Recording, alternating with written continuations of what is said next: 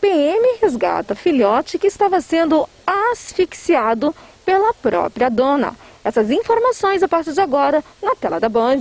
Sim, a princípio, primeiramente, já alertar a população para mais casos de maus tratos, né? É caso de polícia sim, pode estar acionando a polícia militar através de um, do, do 190 ou através do telefone do, do oficial de dia e do Disque Denúncia. Vai é, posteriormente passar mais a respeito dessa situação, na qual a vizinha verificou a situação de maus tratos né, por parte da, da sua vizinha e da, é, com o seu cachorro. A polícia militar deslocou, foi até o local, né, fazer o atendimento, aonde foi constatada a situação de maus tratos. Diante da constatação, foi é, feito a detenção da, da mesma e foi prestado o auxílio médico, os, os socorros aí ao, ao animal debilitado, né? Foi encaminhado aí pro, pro veterinário aonde a guarnição que atendeu a ocorrência se predispôs aí nesse primeiro momento a estar tá fazendo o pagamento aí da, dos custos do, do, do veterinário, né?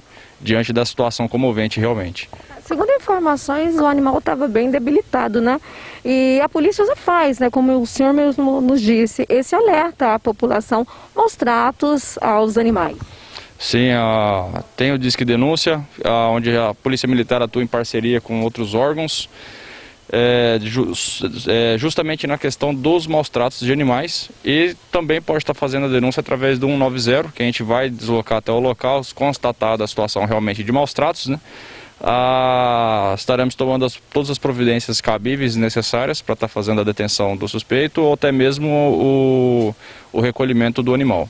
Segundo a informação, portanto, o estado da cadelinha é grave.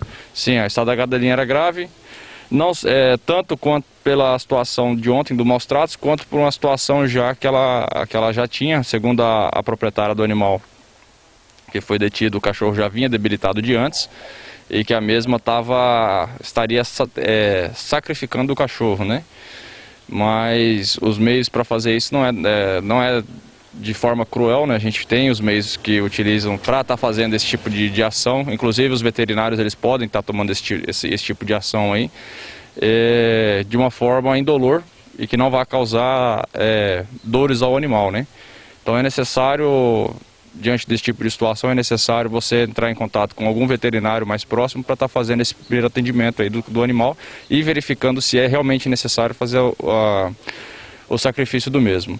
É, foi constatado já durante o, os exames de ontem para hoje que o cachorro, que o animal, ele estava é, a princípio com é, sinomose, a doença do carrapato, é, em estado gravíssimo, mas todos os meios, todas as formas que podem estar sendo empregadas para salvar a vida desse animal tá é, estão sendo tomadas.